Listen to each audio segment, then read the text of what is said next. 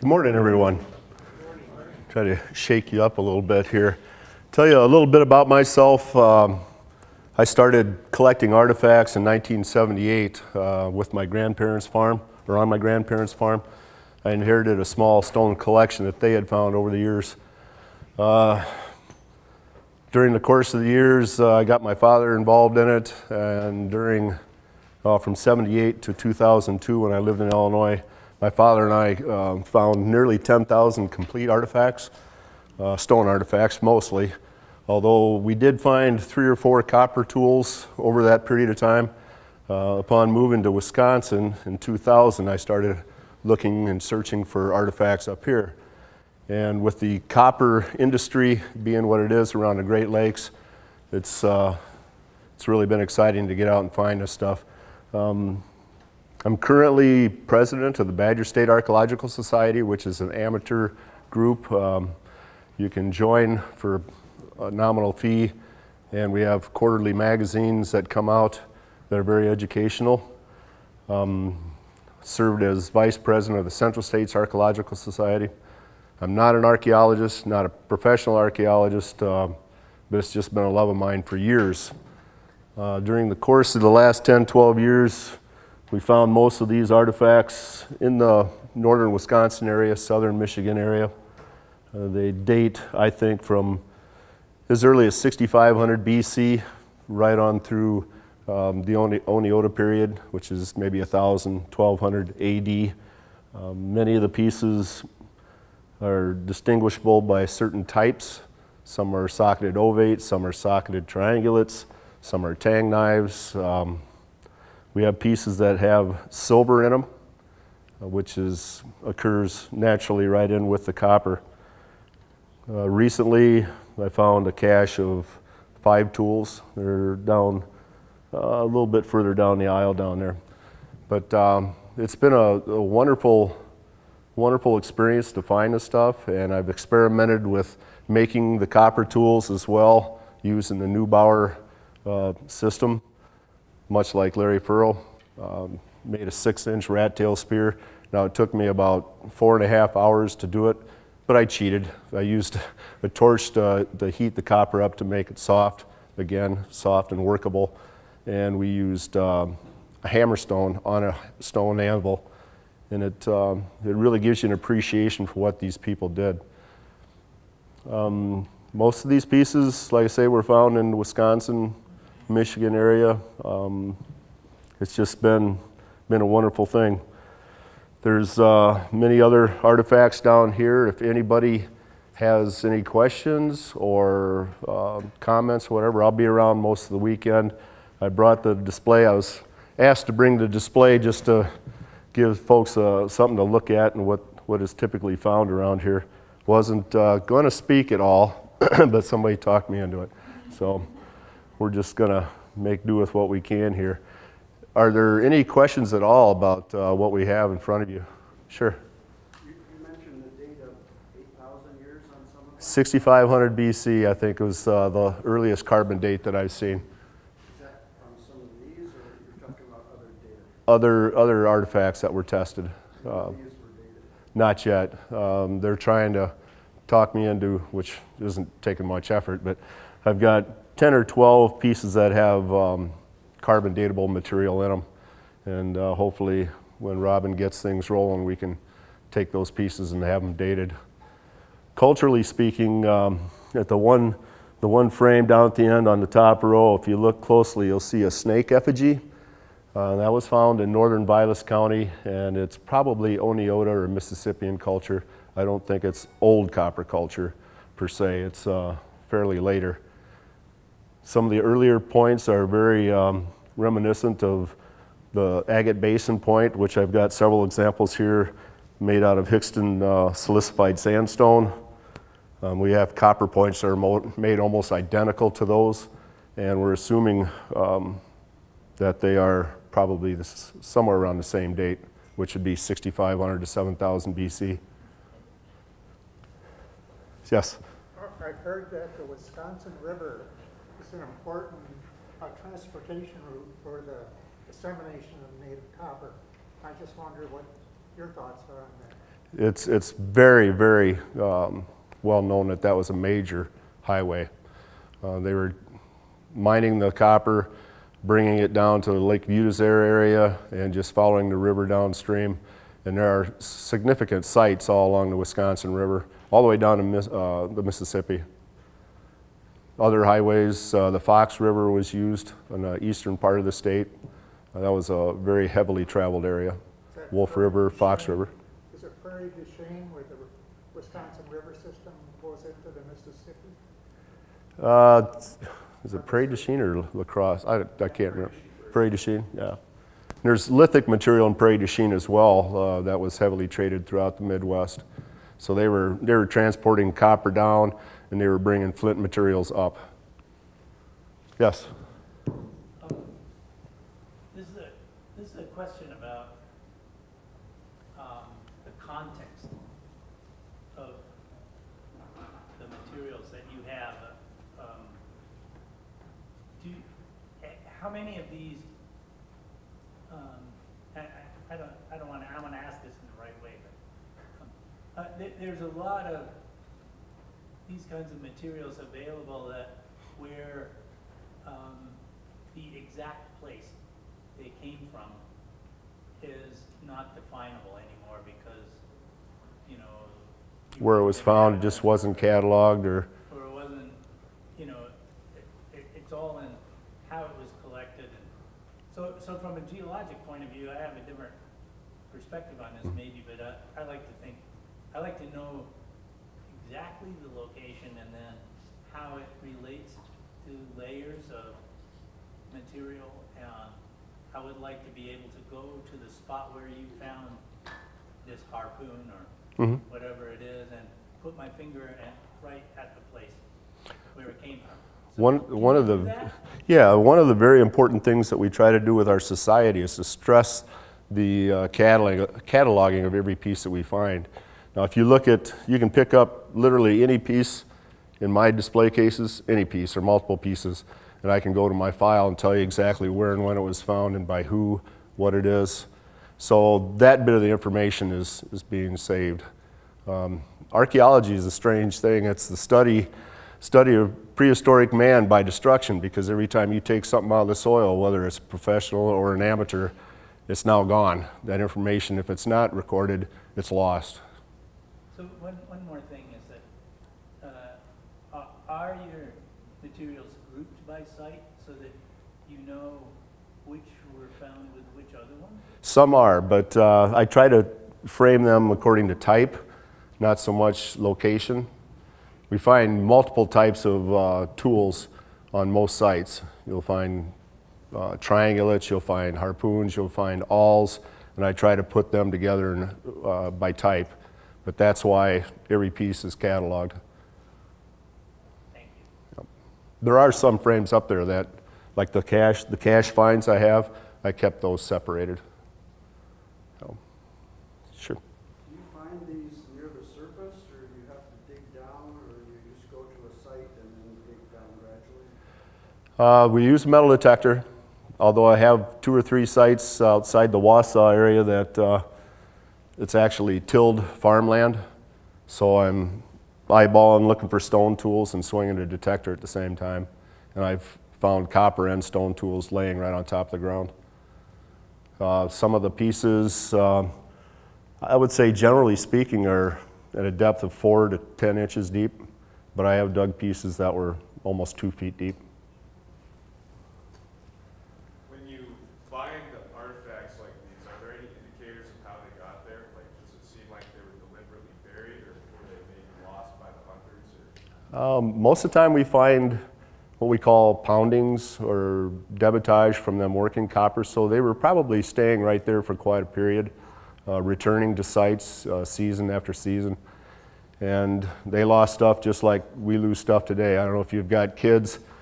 Uh, my kids were always dragging my tools off and losing the darn things, but uh, and they, I'm sure they had the same thing there.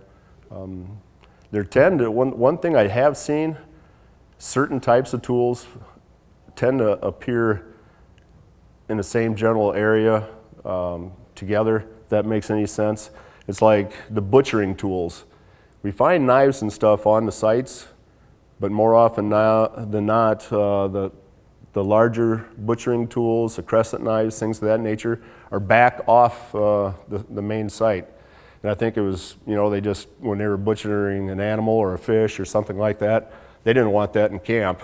So they were doing that, you know, back off the camp a little ways and then bring the food back to the camp, leaving their tools there, and that's probably why they got lost occasionally.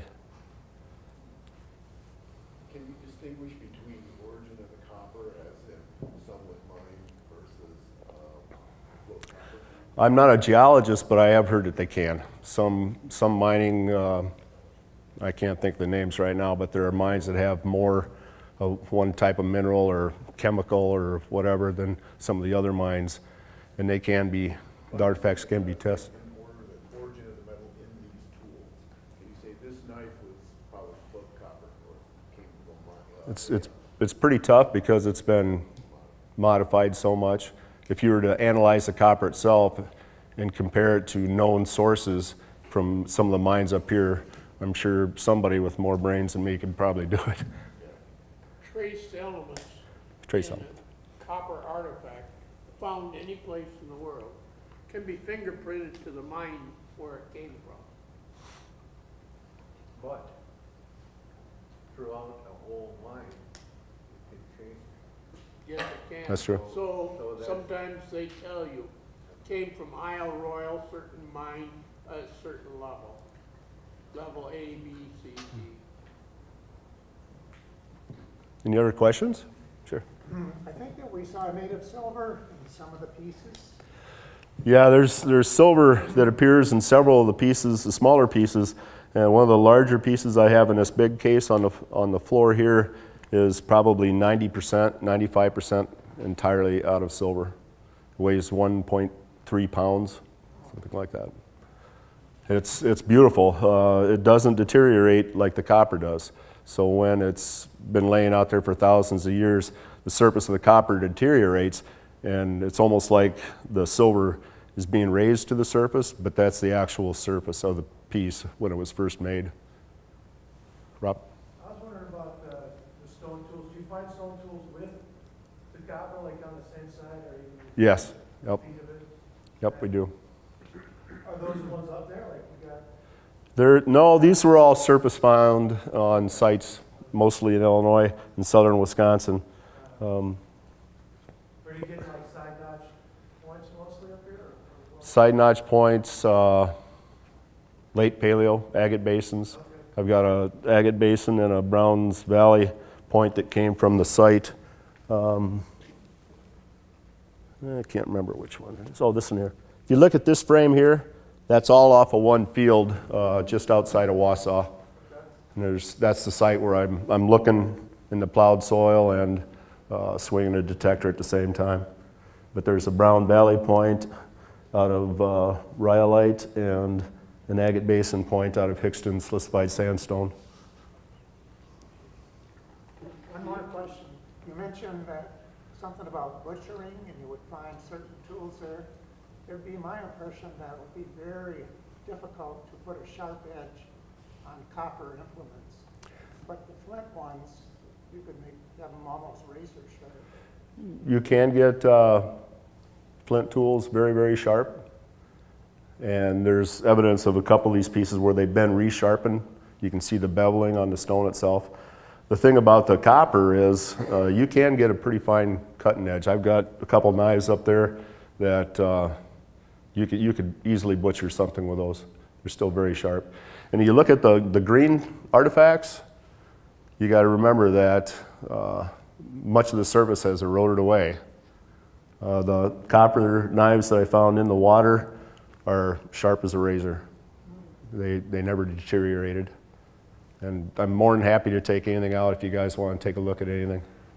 Don? I just want to mention, uh, copper is hardened considerably after it's annealed, and then they can put an edge and keep an edge on it. Yeah, the last, last bit of the process that we've learned, um, when you're working the copper, you kind of, you've got to constantly heat it back up, to draw it back, to stress relieve it so it doesn't become hardened and brittle. But one of the last two things you do to the tool when it's nearing completion is you hammer the cutting edge and then you do not heat it up after that to make it soft. You pound, pound that out and then grind it to a keen edge. So your cutting edge will be a lot harder than, say, the tang or the socket of the point. Can you talk a little bit more about some of the things you've learned over all these years of looking maybe about, uh, that may have surprised you or that, you've come to better understand about, um, sort of how the tools were used and locations, maybe related to water and, and, and things along those lines? I mean, you've obviously gained some expertise from, from finding these things. Right. Uh, in finding the sites, I guess I, I got a lot of experience um, stone hunting in Illinois. And the Native Americans needed three basic things like we all do today. You need a good food supply, a good water supply, and shelter. Well, if you have a good water supply, there's going to be food there, whether it's mussels, fish, um, ducks, anything like that. So you're looking for a good shelter, um, like a exposed hill that's somewhat shielded from a larger hill or something like that.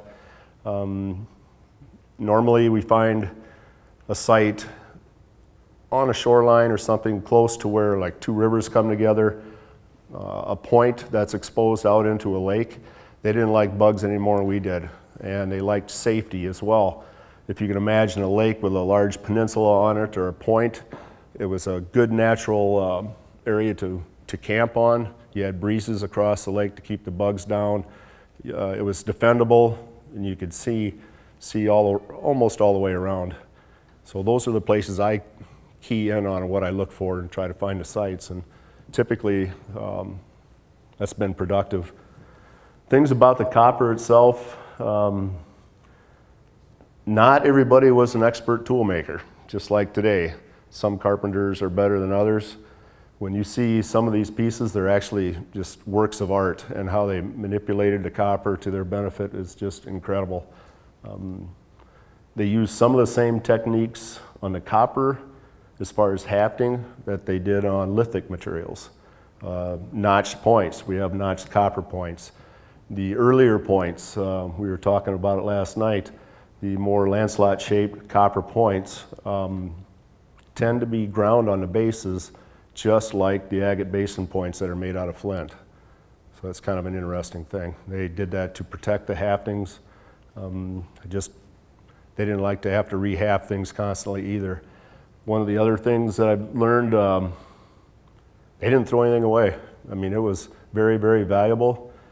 I've got rework tools or reprocess tools where they appear to have been a large knife or large spear point. Uh, the blade either broke off or just got wore down to the point where it wasn't good for that particular use. They, they reused it for something else. They would make a pendant out of it, they'd hammer it back out, make a smaller knife, and all. They were constantly reusing the material as much as they could. Answer your question? Absolutely. Excellent. Anybody else? Did you find any sites where you thought there may have been battles because of damage or dent? Uh, I've, I found tools that were that showed damage, but I don't know if it was so much of a, of a battle. I've got points that are actually, uh, I don't know if I have one in my case here this morning, but there's a conical point that I've got that is basically the end of it's bent and the tip is flattened. It's like they threw that thing at something and um, missed and hit a rock or hit something hard and they just dubbed it right over. So it could be just for hunting for that? Could be hunting, yeah. Or fishing. hunting, fishing. Uh, a lot of the part, pieces that I have here, if you look at them, they look like they're almost brand new. Those were found in uh, water uh, sources. The copper was kept away from the oxygen, so it didn't oxidize like the green stuff from soil. we tend to find like conicals, spear points, socketed spear points. When we find those in the water, normally they all have wood in them. They have a lot of wood material, and that's why we're hoping to do some of the carbon dating on some of my pieces. Yep. Do you find any other evidence of human inhabitation other than copper and flint? Um, uh, petroglyph, um, in northern Wisconsin. There's piles of rocks. They call them, I can't remember what they call them, but I assume they're put there by Native Americans, but you can't really tell. Anything else? Yes? Just one of my thought processes, a lot of these things maybe weren't lost by a child, but they're lost with a bad kill. You got speared a deer, it ran away, you never got it, and maybe the deer went the water for its safety. Right. And that does occur. I mean, we tend to concentrate on sites, you know, key areas of habitation, but I've hunted and hunted and hunted, and I've walked for miles and hours and found one piece, and it was out in the middle of nowhere. You know, something ran off, or we call them drops. They could have lost it while they were traveling from one place to another, but there's no other evidence. I mean, because when we, we find a piece, we stop and we just systematically roll the area out in several different directions. And um, in those cases, you find one piece and that's it. So it's either, either a lost uh, tool through travel or it got stuck in something and ran off.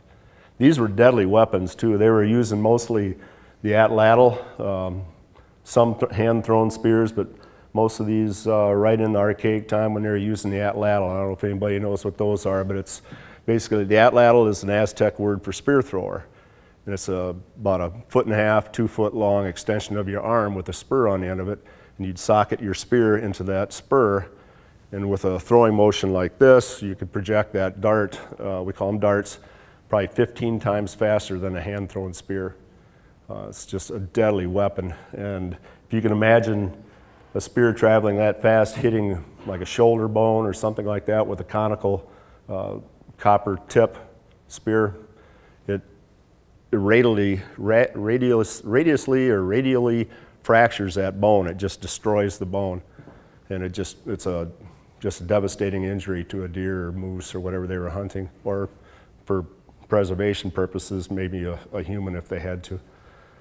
Um, the, the flat points without the sockets or without the conical tips um, would be more of a cutting uh, weapon. It would slide into a bone, not necessarily shatter it, but just cut it. Yes? It's so interesting to, to go back and look at all this because of the, the ancients being so brilliant and, and the ingenuity of what they were able to accomplish with such a small footprint. And then you look at how we live and we leave such huge footprints in destruction and destroying Right. the environment. And they were here, you know, for such a long period of time and to understand how they used the land and how they respected it and the animals and just took what they needed, you know, to survive. And um, basically, if you don't go onto those sites, you wouldn't find this, like you say, because Right. it's, it's, they're sporadic. But just to learn from them and, and what they did and how they were able to utilize the Oh. resources, it's, it's like a geniusness that we don't even comprehend as a, a modern society. Um, it, I have a lot of respect. Yeah. And I don't think any of us can go out and do these things anymore because it's a lost. um, It's lost. And if you, yeah, and there's a TV show that I got hooked on watching. I think it's called uh, Last Survivor or whatever. And they turn like 10 people loose in different areas. Um, and whoever manages to survive and stay out there the longest wins a half million dollars, whatever. Those people really got to see what it was really like. And even then, they had modern equipment with them. They had a tarp and this, that, and the other thing. But yeah, if you had to go out and sustain yourself for any period of time with just stone tools, not knowing where, where to go and how to look for stuff, it, it would be it would be very, very difficult. Clothing, all. Right. And brain, brain tanning is something that just amazes me. Uh, tanning of hides. Every animal has enough brain to create the chemical needed to tan its own hide. Whoever thought of that? Who's going to take the brains out of an animal and then mix ash with it and make a soup and then rub it into a hide? How did they discover that? It just amazes me. But that's how they produced a lot of their uh, leather clothing. I think you have to remember that these things aren't created in isolation. There's a context, thousands of years in which the humans evolves over time. Right. And so it's not like suddenly someone being thrown out. Just thrown out by themselves, yeah. Okay, they're, have a history and a culture Yep. they to, to support their lifestyle. Yeah, we find, find so much of the stuff too, but you gotta realize as well, that, you know, they were camping on some of these sites for generations. You know, you find copper tools there, but there's, there are many, many other tools that we're not seeing. The stone, you know, metal detector won't pick that up. Uh, bone, of course, bone, bone tools, wood tools, all deteriorated and, uh, just, are- just are gone now, so. Anything else? Oh, yep. I just got a comment, and and maybe uh, you can address it. Uh, there- I have two two great uh, uh, passions in archaeology, one being, with which yours uh, is the copper, and the other one being uh, the uh, Paleo-Indian period here in the western Great Lakes, both in Wisconsin in particular and here here in the Upper Peninsula Michigan. Uh, With those two interests, uh, I've always been intrigued as to whether or not uh, Paleo-Indian peoples uh, made use of copper, okay? And I do uh, agree that a lot of the, some of the projectile points that you do see do have, there's some that come up that do look like agate based, that do look, at least in shape, that they, that they do resemble uh, at least point forms for Paleo-Indian peoples. One of the things I've had an opportunity to do through the years is to work on uh, a great many Paleo-Indian sites uh, uh, here in the Upper Peninsula, particularly in Marquette County, and I'm going to be speaking on that tomorrow. And, uh, and so I'm always on the lookout when we work on these sites for any indication that the people that are living there, just, and I'm talking about Agate Basin, Hell Gap, Scottsbluff primarily, whether or not uh, there was any uh, use of copper uh, that's uh, evident on any of those sites. Uh, What I will say is there are two sites that, uh, uh, that we did uh, work on that we think are single component Paleo-Indian sites that did produce pieces of copper. And in both cases, it wasn't a, a nice finished artifact per se, like you see up there, but in both cases, it was almost identical, uh, flat hammered pieces of worked copper that just looked like a flat ingot, if you will. And that was it.